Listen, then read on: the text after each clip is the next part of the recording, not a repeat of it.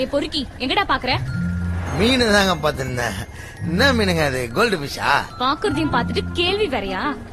அடி தலைய திருப்பிடுவேன். பாத்துங்க. மீன் துள்ளுது. இதுக்காகவே